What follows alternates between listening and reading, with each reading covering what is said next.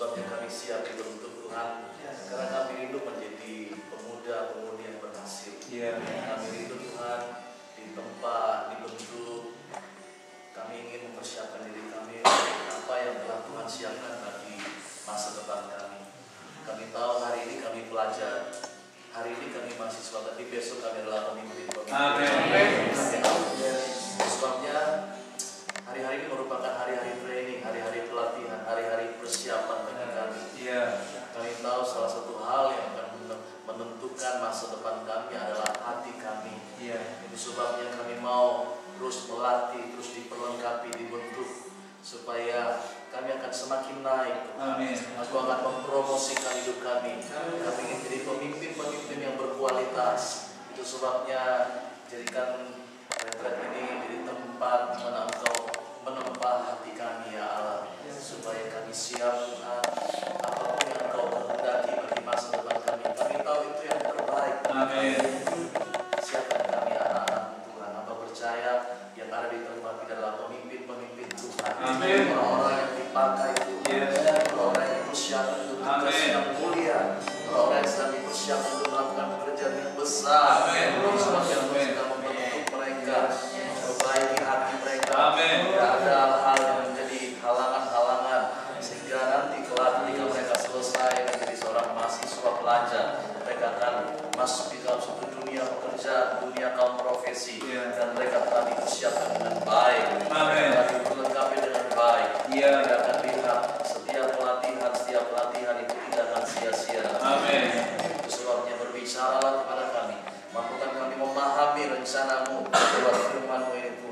Supaya kami mau setia, kami mau belajar taat.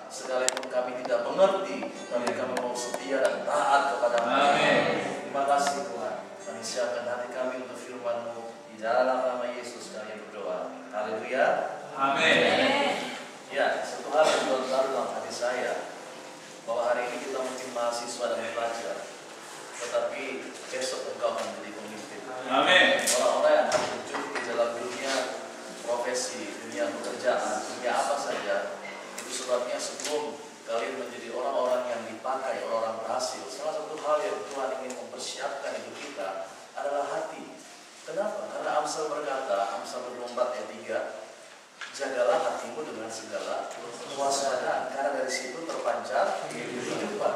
Nah, itu sebabnya pertemuan ini menjadi hal yang sangat penting karena mungkin kalian merasa ah, pertemuan biasa, tapi apa yang kita lakukan sore hari ini bukan terjadi secara kebetulan. Allah sudah melihat 4 tahun, 5 tahun ke depan mau jadi apa. Allah punya visi, punya rencana yang besar sebelum kita tahu apa yang akan terjadi dalam hidup kita. Allah sudah menuliskan di tangannya. Dan apa yang Tuhan rancangkan dalam hidup kita itu perkara-perkara yang besar untuk hidup saudara dan hidup saya. Kenapa? Kita spesial, kita anak Allah, kita anak raja.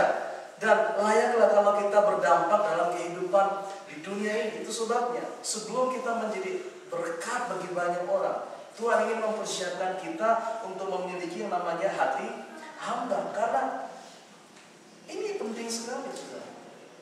Hati seorang hamba. Karena dari sinilah kita akan melihat saudara Allah membentuk hidup kita dan mempersiapkan kita untuk rencananya yang mulia dalam hidup kita. Coba kita baca Alkitab kita sore hari ini. Dari kitab Yesaya pasal 41 42 supaya.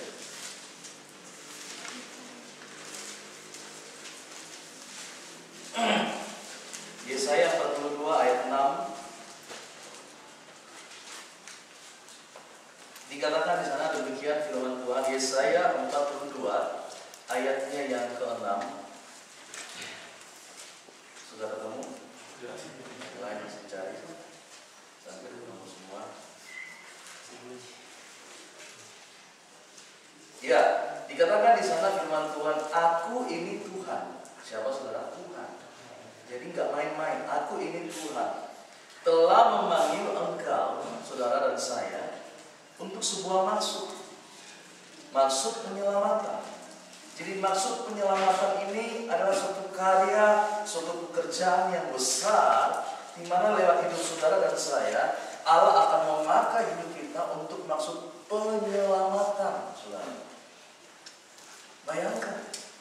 Jadi Tuhan menyelamatkan hidup kita, menjadikan kita orang Kristen yang percaya kepada Yesus. Itu karena Allah punya panggilan yang sangat penting di dalam kehidupan kita. Allah punya panggilan yang sangat besar, lebih daripada yang kita bayangkan, lebih dari apa yang kita pernah pikirkan, lebih daripada cita-cita kita. Kita nggak pernah bayangkan, tapi dalam pikiran Allah, Dia punya rencana yang besar. Karena di balik rencana Allah, hidup saudara dan saya akan dipakai untuk sebuah tugas yang mulia yang namanya penyelamatan. Coba katakan penyelamatan satu tiga. Menyelamatkan, selamatkan. Bayangkan saudara ada di sebuah kapal saudara, ya, dan ombak itu besar dan saudara karena ombak besar kapalnya mulai tenggelam dan orang-orang itu saudara mulai tenggelam dan saudara datang dengan perahu untuk menyelamatkan orang-orang dari kebinasaan, dari tenggelam. Lewat apa? Hidup saudara, lewat pekerjaan kita, profesi kita, lewat hidup kita saudara. Jadi inilah rencana Allah yang besar, saudara. Makanya untuk masuk Allah ini, dia cari orang-orang yang hatinya sudah siap. Hatinya benar-benar tahu akan maksud panggilan Allah. Sebab untuk melakukan pekerjaan yang besar ini, kita nggak bisa dengan kesombongan kita. Kita nggak bisa dengan keangkuhan kita, dengan sifat-sifat kita, karakter kita yang masih kita bawa ketika kita belum bertobat, ketika kita belum lahir baru, kita masih bawa sifat kita yang sombong itu, kita masih bawa karakter kita yang egois itu, kita masih bawa karakter kita yang yang nggak mau mengalah, yang mau menang sendiri, yang suka apa saudara, nggak bisa mengampuni orang lain, saudara, bukan itu Tuhan. Oke, Tuhan memanggil kita dalam keadaan seperti itu. Tetapi suka atau tidak suka, mau atau tidak mau, Allah akan menjadikan hidup kita masuk di dalam sebuah proses, sebuah pembentukan di mana semua karakter kita yang jelek itu saudara akan dibentuk. Makanya kita baca ayat berikutnya. Kalimat berikutnya menurut saya.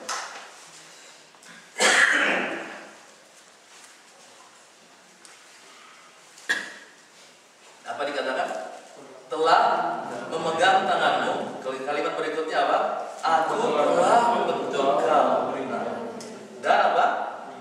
Berikan engkau menjadi perjanjian bagi umat manusia menjadi orang bangsa-bangsa. Ada kata membentuk saudara. Nah, kata membentuk ini berbicara tentang suatu proses yang Allah ingin kerjakan di dalam kehidupan kita.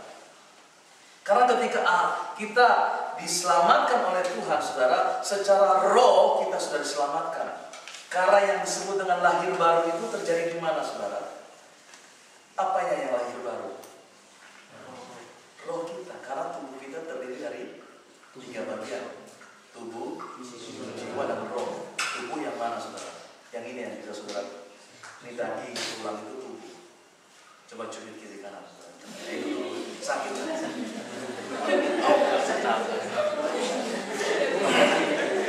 Tapi yang kedua adalah jiwa.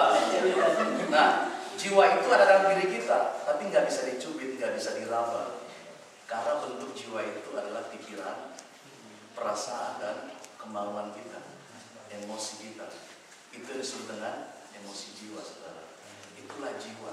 Dia ada di sini, di sini, di pikiran, di hati kita. Itu jiwa. Nah, yang satu ini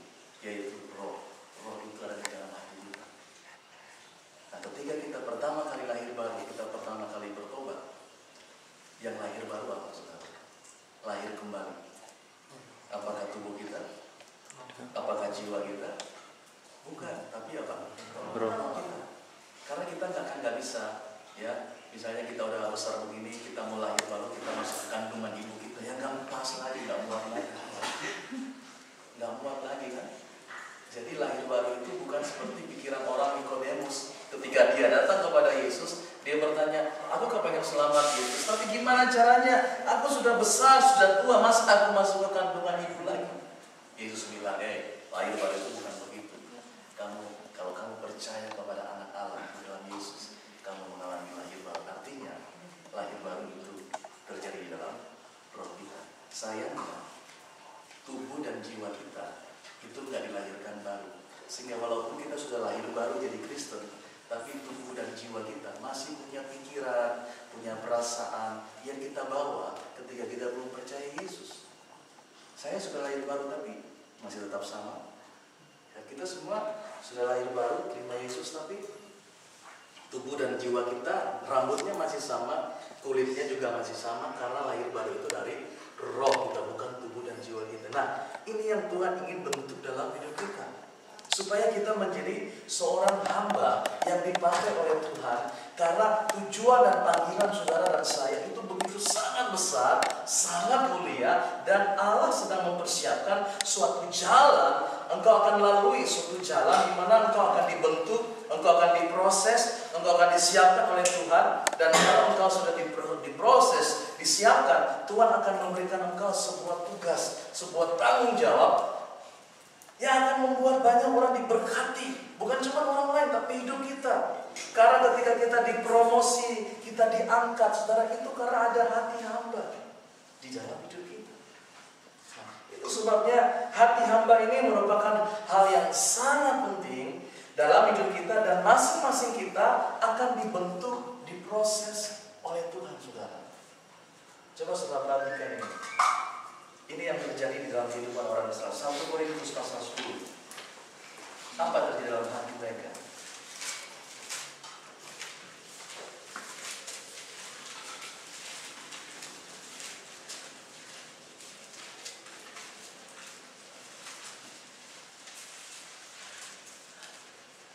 Dikatakan dalam 1 Korintus pasalnya yang ke-10 Ayat pertama Aku mau supaya kamu mengetahui saudara-saudara bahwa nenek moyang kita semua berada di bawah perlindungan awan dan bahwa mereka semua telah melintasi laut. Itu nenek moyang orang Israel yang dipimpin oleh Musa yang melewati laut merah.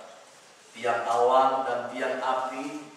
Kalau siang kalau malam tiang api yang menjaga mereka. Kalau siang tiang awan yang akan menjaga dan menghalangi panasnya pada bulu itu. Jadi mereka mengalami suatu kehidupan yang dahsyat. Miracle, keajaiban itu menyertai mereka. Ayat 2. Untuk menjadi pengikut Musa, mereka semua telah dibaptis dalam awan dan dalam laut. Jadi mereka sudah dibaptis juga oleh awan dan dalam laut. Mereka semua makan makanan rohani yang sama, yaitu mana. Tidak ada seorang pun di antara kita yang pernah makan mana. Pernah makan mana? Yang pernah, paling roti. Ya, setiap hari minggu pertama baptisan, eh apa perjamuan kudus. Mereka makan mana? Dan ayat 4, mereka semua minum minuman rohani yang sama. Sebab mereka minum dari batu karang rohani yang mengikuti mereka dan batu karang itu ialah Kristus. Ayat 5 kita baca sama-sama. 2, 3. Tetapi sungguh pun demikian, Allah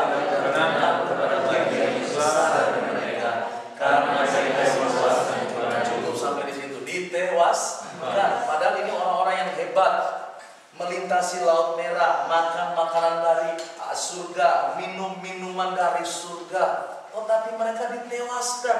Artinya Tuhan mestinya kan ini orang-orang yang hebat. Mereka menikmati karya-karya rohani yang luar biasa. Tetapi mereka harus tewas. Saudara ini pelajaran bagi kita. Kita baca ayat 6. Satu, dua, tiga. Semuanya ini telah menjadi sebagai contoh bagi kita untuk memperingatkan kita supaya jangan kita melakukan hal-hal yang jahat seperti yang telah mereka buat. Mereka masih punya hal yang jahat dalam hati mereka loh. Padahal mereka sudah dibaptis, mereka sudah dilindungi oleh awan yang awan yang api mereka kebesaran Allah. Tetapi kejahatan itu masih ada di dalam hati mereka. Mereka tidak siap menjadi orang hamba. Mereka masih mau memberontak. Mereka masih mau hidup dengan cara hidup mereka yang dulu. Mereka sudah jadi anak Tuhan, sudah dibaptis, tetapi gaya hidup mereka, cara berpikir mereka, itu masih cara berpikir dan gaya hidup duniawi. Sehingga Allah tidak menyayangkan sekalipun mereka udah minum dari Kristus, makan makanan rohani Tuhan bilang kalau kamu nggak berubah kalau kamu nggak hidupmu seperti ini buat apa? Tuhan nggak sayangkan mereka sehingga mereka ditewaskan artinya Tuhan nggak mau pakai orang yang seperti itu. Alkitab berkata ini harus menjadi contoh bagi kita yang hidup pada zaman ini supaya kita nggak main-main dengan hidup kita dan supaya kita tahu bahwa Allah punya panggilan yang besar dan kita tidak boleh melakukan apa yang pernah dilakukan orang Israel. Dan kuncinya adalah di hati. Kenapa mereka ditewaskan? Hati mereka itu bukan hati hamba, tapi hati pemberontak. Apa yang mereka lakukan? Kita baca lagi.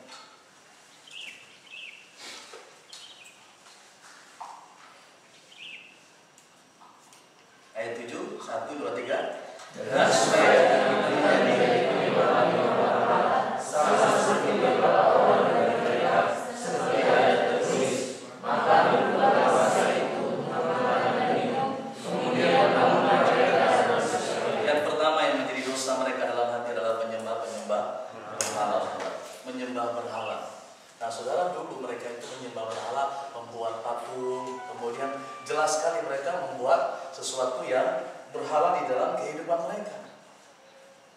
Sudah dibaptis, sudah melihat tiang awan, tiang api, makan makanan dari surga, tapi hati mereka bukan hati hamba. Dalam hati mereka, sementara mereka mengikut Tuhan, mereka masih punya yang lain. Mereka masih punya simpanan, mereka masih punya berhala, mereka masih menyembah selain Allah. Ada lagi yang mereka menyembah, dan bagi Tuhan ini merupakan perjinahan rohani, Kekejian bagi Allah.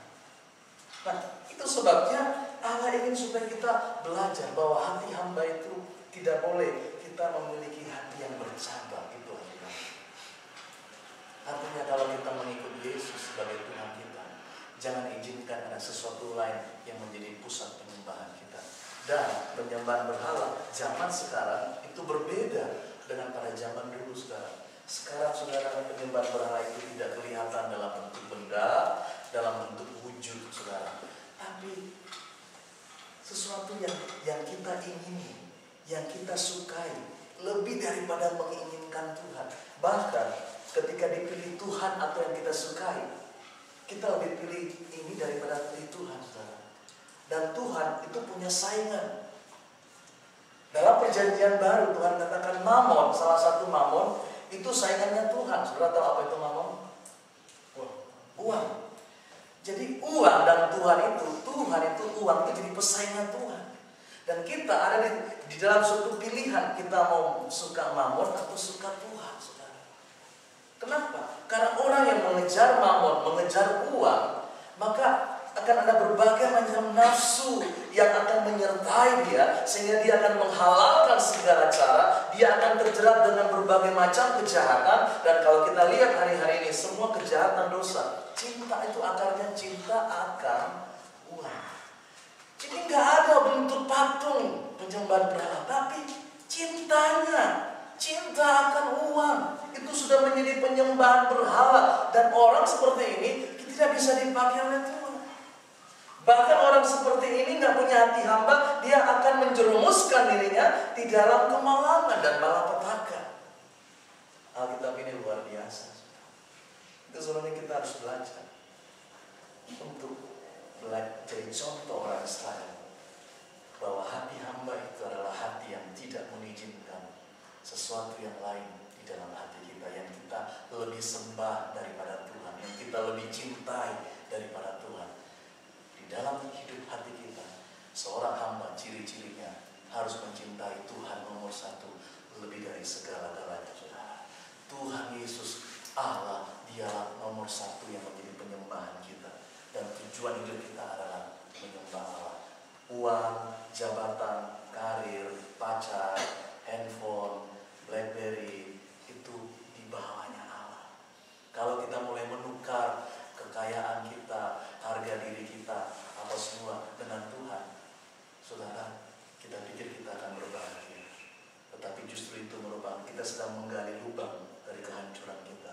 Saya punya teman-teman, saudara, ketika mereka datang di kota Malang, kuliah sama-sama, awalnya masih culun-culun, karena masih baru datang dari kota kecil.